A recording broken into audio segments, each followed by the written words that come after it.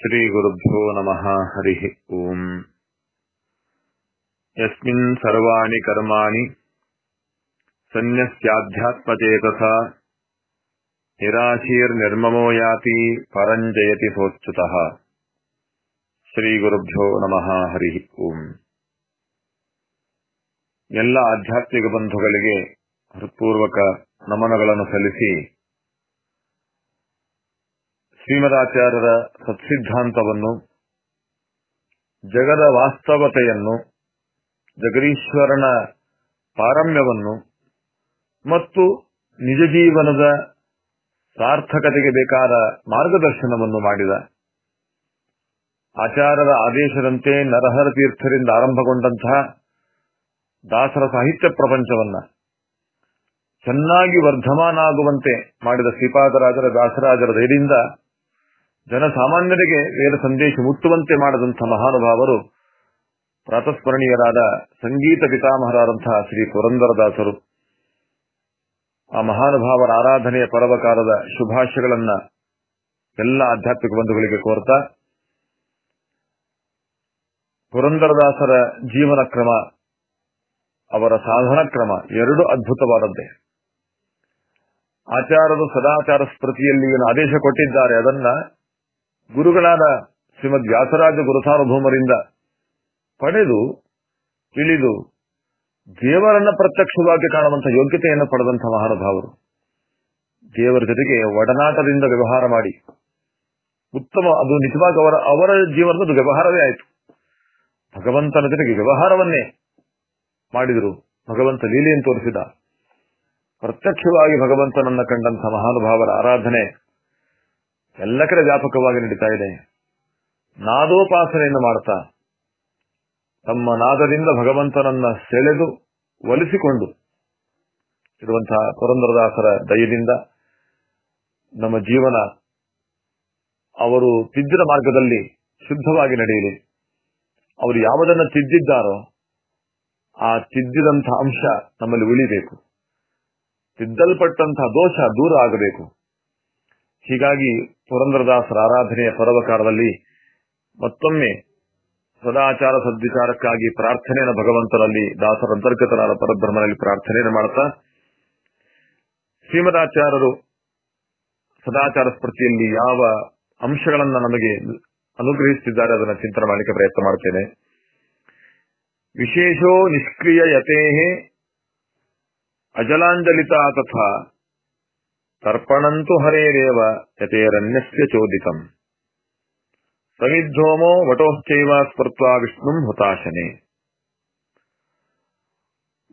ಮಾನಸ ಪೂಜೆಗೆ, ಮಾನಸ ಉಪಾಸನೆಗೆ ಸಮರ್ಥರಾದಂಥವರು ಹಂಸ, ಪರಮಹಂಸ ಇತ್ಯಾದಿ ಶಬ್ದರಿಂದ ಕರೆಯಲ್ಪಟ್ಟಂತಹ ಸಾಧಕರು. ಅಂಥವರಿಗೆ ಈ ಬ್ರಹ್ಮಯಜ್ಞ ದೇವಯಜ್ಞ, ಪಿತೃಯಜ್ಞ ಮೊದಲಾದಂತಹ ಈ ಪಂಚಯಜ್ಞಗಳು ಯಾವುದಿರುವುದಿಲ್ಲಂತೆ. ಅವರು ತರ್ಪಣವನ್ನು ಕೊಟ್ಟರೂ ಕೂಡ ಭಗವಂತನಿಗೆ ಮಾತ್ರ ಕೊಡ್ತಾರೆ ಬೇರೆ ದೇವತೆಗೆ ತರ್ಪಣವನ್ನು ಕೊಡೋದಿಲ್ಲಂತೆ ಇನ್ನು ಸ್ನಾನ, ಗಾಯತ್ರಿ ಜಪ, ಅದೆಲ್ಲವೂ ಕೂಡ ಸಹಜವಾಗಿದ್ದೇ ಇರುತ್ತದೆ ಅವರಿಗೆ. ಎಲ್ಲರಿಗಿರುವಂತೆ ಸ್ನಾನ, ಗಾಯತ್ರಿ ಜಪಾದಿಗಳು. ಅದು ಖಂಡಿತವಾಗಿ ಪರಮಹಂಸರಿಗೂ ಇದ್ದೇ ಇರುತ್ತದೆ. ಬ್ರಹ್ಮಚಾರಿಗಳಾದಂಥವರು ಹೇಗೆ ಅಗ್ನಿ ಕಾರ್ಯವನ್ನು ಮಾಡುವುದು, ಅಗ್ನಿಯ ಮುಖದಲ್ಲಿ ಭಗವಂತನನ್ನು ಕನ್ನಡ ಉಪಾಸನೆಯನ್ನು ಮಾಡುವುದು ಹೇಗೋ ಸಮಿಧ್ವಮ ಅಂತ ಕರೀತಾರೆ ಆ ರೀತಿಯಾದದ್ದಾಗಲಿ ಗೃಹಸ್ಥಾಶ್ರಮಗಳು ವೈಶ್ವದೇವ ಮಾಡದಂತೆ ಇರುವುದಿಲ್ಲ. ಅವರಿಗೆ ಭಗವಂತನಿಗೆ ಮಾತ್ರ ತರ್ಪಣ, ಭಗವಂತನ ಕುರಿತು ವಿಶೇಷವಾದ ಉಪಾಸನೆ, ಇದು ವಿಹಿತವಾದದ್ದು ಸನ್ಯಾಸಿಗಳಿಗೆ. ಅಲ್ಲಿ ಯಥೇರನ್ಯಸ್ಯ ಚೋದಿತಂ. ತರ್ಪಣಂತೂ ಹರೇರೇವ ಯಥೇರನ್ಯಸ್ಯ ಚೋದಿತಂ ಅಂತ ಹೇಳ್ತಾರೆ. ಅದರ ಅಭಿಪ್ರಾಯ, ಯತಿಗಳಿಗಿಂತ ಬೇರೆಯಾಗಿರ್ತಕ್ಕಂಥವರು, ಅಂದ್ರೆ ಕುಟೀಚಕ, ಬಹುದಕ, ಹಂಸ, ಪರಮಹಂಸ ಅಂತ ನಾಲ್ಕು ರೀತಿಯ ಸನ್ಯಾಸ ಪರಂಪರೆ ನೋಡ್ತೇವೆ ನಾವು. ಅದರಲ್ಲಿ ಪರಮಹಂಸರಿಗೆ ಯಾವುದೇ ರೀತಿಯಾದಂತಹ ವಿಧಾನಗಳು, ಅಂದ್ರೆ ನಿಯಮಗಳು ಅಂತ ಇಲ್ಲ. ಎಲ್ಲವನ್ನು ಬಿಟ್ಟವರು. ಅಷ್ಟು ವಿರಕ್ತರಾದಂಥವರಿಗೆ ನಿಷ್ಕ್ರಿಯ ಯತಿ ಅಂತ ಕರೀತಾರೆ.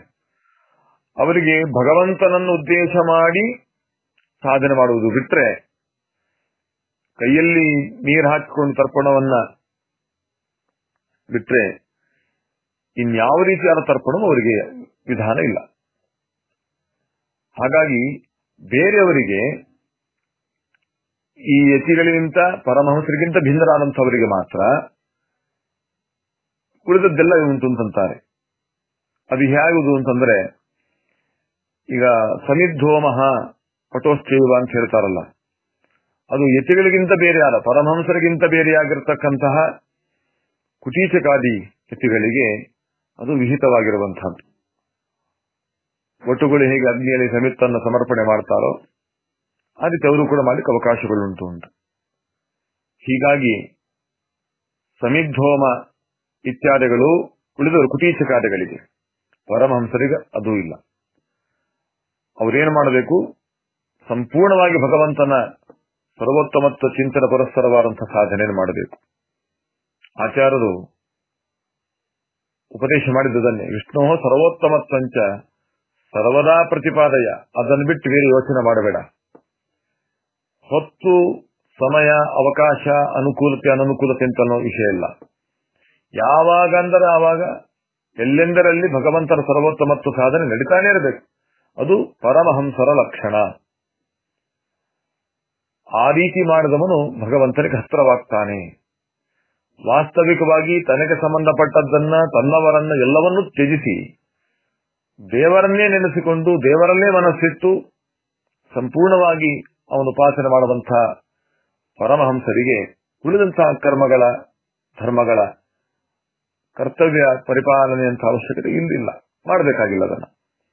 ಹೀಗಾಗಿ ಪರಮಹಂಸರ ಸಾಧನೆ ಅತ್ಯಂತ ಉನ್ನತ ಮಟ್ಟದ್ದು.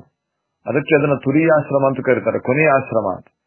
ಅದನ್ನ ಸ್ವೀಕಾರ ಮಾಡಿಬಿಟ್ರೆ ಪ್ರಾಯ ಎಲ್ಲ ಸಾಧನೆ ಮಾಡಿದಂತೆ ಇಷ್ಟು ಎತ್ತರದ ಸಾಧನೆ ಭಗವಂತನನ್ನು ಕಾಣಲಿಕ್ಕಿರುವ ಒಂದು ಅತ್ಯುತ್ತಮ ಸಾಧನೆ ಅಂತ ಕರೀತಾರೆ. ಅಂಥ ಯತಿಗಳನ್ನ ಆದೇಶಿಸಿದಂತಹ ನಮ್ಮ ಆಚಾರರು ಇಷ್ಟು ಪರಂಪರೆಯನ್ನು ನಮಗೆ ಹಾಕಿಕೊಟ್ರು. ಸನ್ಯಾಸಿಗಳಿದ್ದಾರೆ, ಗೃಹಸ್ಥಾಶ್ರಮಗಳಿದ್ದಾರೆ, ವಾನಪ್ರಸ್ಥಾಶ್ರಮಗಳಿದ್ದಾರೆ ಬ್ರಹ್ಮಚಾರಿಗಳಿದ್ದಾರೆ ಆಚಾರದ ಜೊತೆಗೆ ಎಲ್ಲರೂ ಶಿಷ್ಯರಾಗಿದ್ರಂತೆ. ಯತಿಗಳು, ಬ್ರಹ್ಮಚಾರಿಗಳು, ಗೃಹಸ್ಥಾಶ್ರಮಗಳು ಪ್ರತಿಯೊಬ್ಬರು ಇದ್ರಂತೆ, ಅನುಸರಣೆ ಮಾಡ್ತಾ ಇದ್ರಂತೆ. ಆ ಪರಂಪರೆ ಹಾಗೆ ಅನೇಕ ಮುಖವಾಗಿ ಹರಿದುಕೊಂಡು ಬಂತು. ಮಾದನೂರು ಸ್ವಾಮಿಗಳು ಅವರು ಬ್ರಹ್ಮಚರ್ಯವನ್ನ, ಗಾರ್ಹಸ್ಥ್ಯವನ್ನ, ವಾನಪ್ರಸ್ಥವನ್ನ, ಸನ್ಯಾಸ ನಾಲ್ಕನ್ನು ಅನುಷ್ಠಾನ ಮಾಡಿದಂತ ಅಂತ ನಾವು ಇತಿಹಾಸದಲ್ಲಿ ಕೇಳುತ್ತೇವೆ. ಅಂತಹ ಸಾಧಕರ ಪರಂಪರೆಯಲ್ಲಿ ಬಂದಂತಹ ನಾವು ಕೂಡ ನಾವು ಗೃಹಸ್ಥಾಶ್ರಮಗಳಾಗಿದ್ರೆ, ನಾವು ಬ್ರಹ್ಮಚಾರಿಗಳಾಗಿದ್ರೆ, ಸನ್ಯಾಸಿಗಳಾಗಿದ್ರೆ ನಾವು ಯಾವುದೊಂದು ಆಶ್ರಮವನ್ನ ಅನುಷ್ಠಾನ ಮಾಡ್ತಿರ್ತೇವೆ. ಆ ಅನುಷ್ಠಾನಕ್ಕೆ ತಕ್ಕಂತೆ ನಮ್ಮ ಜೀವನ ಕ್ರಮ ಆಗಿ ಭಗವಂತನ ಪೂರ್ಣಾನುಗ್ರಹಕ್ಕೆ ಪಾತ್ರರಾಗುವಂತಹದ್ದಾಗಬೇಕು.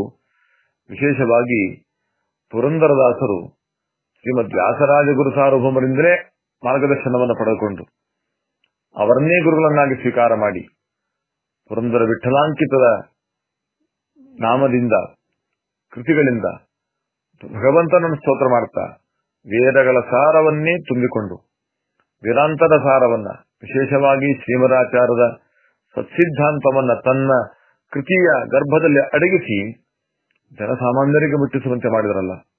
ಇವತ್ತಿಗೂ ಎಲ್ಲ ಕಡೆ ಜನಜನಿತವಾಗಿರುವಂತಹದ್ದು ದಾಸರ ಕೃತಿಗಳು. ಸರಳ ಭಾಷೆ, ಅತ್ಯಂತ ಸುಲಭವಾಗಿ ಭಗವಂತ ತಿಳಿಯುವಂತಹ ಮಾಧ್ಯಮವಾದಂತಹ ಭಾಷೆ. ಆ ಭಾಷೆಯ ಮೂಲಕ ಎಲ್ಲರಿಗೂ ಭಗವತ್ ತತ್ವವನ್ನ ಪ್ರಚಾರ ಆಗುವಂತೆ ಮಾಡಿದರು.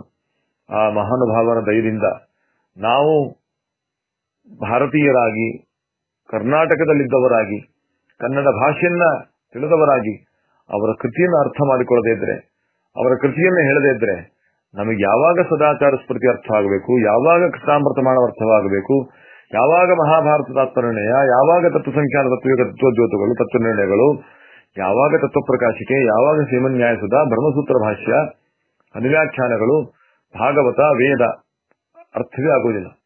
ಹಾಗಾಗಿ ನಾವು ದಾಸರು ಕೊಟ್ಟ ಮಾರ್ಗದಲ್ಲಿ ಜೀವನವನ್ನು ನಡೆಸಲಿಕ್ಕೆ ಪ್ರಯತ್ನವನ್ನು ಮಾಡೋಣ. ಅವರು ಸಮಾಜವನ್ನು ತಿದ್ದಿದರು. ಆತ್ಮಾವಲೋಕನದ ಕ್ರಮವನ್ನು ತೋರಿಸಿಕೊಟ್ರು. ವೈರಾಗ್ಯ ಭಾವವನ್ನು ವ್ಯಕ್ತಪಡಿಸ್ತಾರೆ. ವೈರಾಗ್ಯ ಸಂಪಾದಿಸಿಕೊಂಡು ಸಾಧನೆ ಮಾಡಿ ತೋರಿಸ್ತಾರೆ. ಭಕ್ತಿಯನ್ನು ಬೆಳೆಸಿಕೊಂಡ್ರು. ಧ್ಯಾನವನ್ನು ಪಡ- ಪಡೆದಿದ್ರು ಹೀಗಾಗಿ ಜ್ಞಾನ ಭಕ್ತಿ ವೈರಾಗ್ಯ ಮೂರ್ತಿಗಳಾದಂತಹ ಪುರಂದರದಾಸರ ಆರಾಧನೆ ಪರ್ವಕಾರದಲ್ಲಿ ಒಂದು ಸಣ್ಣ ಸಂಕಲ್ಪವನ್ನು ಮಾಡೋಣ. ಸಣ್ಣ ಸಂಕಲ್ಪ ಅಂತ ಅನಿಸುವುದು ಸಹಜ, ಆದರೆ ದೊಡ್ಡ ಸಂಕಲ್ಪ ಇದು. ಇವತ್ತಿನ ದಿವಸದಲ್ಲಿ ನಾವು ಸಂಕಲ್ಪ ಮಾಡೋಣ. ಪುರಂದರದಾಸರು ತಾಳ ಹಿಡಿದು, ತಂಬೂರಿ ಹಿಡಿದು, ಗೆಜ್ಜೆಯನ್ನು ಕಟ್ಟಿಕೊಂಡು ನಿಸ್ಸಂಕೋಚವಾಗಿ ಬೀದಿ ಬೀದಿ ಸಂಚಾರ ಮಾಡ್ತಾ ಭಗವನ್ನಾಮ ಸಂಕೀರ್ತನೆ ಮಾಡ್ತಾ, ಭಗವತ್ ತತ್ವಜ್ಞಾನ ಜಾಗೃತಿಯನ್ನು ಮೂಡಿಸಿ ಸಮಾಜಕ್ಕೊಂದು ಉತ್ತಮವಾದ ಸಂದೇಶ ಕೊಟ್ಟು, ಸಂಸ್ಕಾರವನ್ನು ಕೊಟ್ಟು ಹೇಗೆ ಅನುಗ್ರಹ ಮಾಡಿದ್ದಾರೆ, ಆ ಆದರ್ಶವನ್ನಿಟ್ಟುಕೊಂಡು ನಾವು ಅವರು ಮಾಡಿದ ಕೃತಿಯನ್ನು ಮಹಾಮಂತ್ರಾತ್ಮಕವಾದದ್ದು. ಸ್ವತಃ ವ್ಯಾಸರಾಜ ಗುರು ಸಾರ್ವಭೌಮರೇ ಅದನ್ನ, ಅವರ ಕೃತಿಗಳನ್ನ ವ್ಯಾಸಪೀಠದಲ್ಲಿಟ್ಟು ಪುರಂದರ ಉಪನಿಷತ್ತು ಅಂತ ಕರೆಯಬೇಕಾದ್ರೆ ಎಂಥ ಅದ್ಭುತವಾದದ್ದಿರಬೇಕು.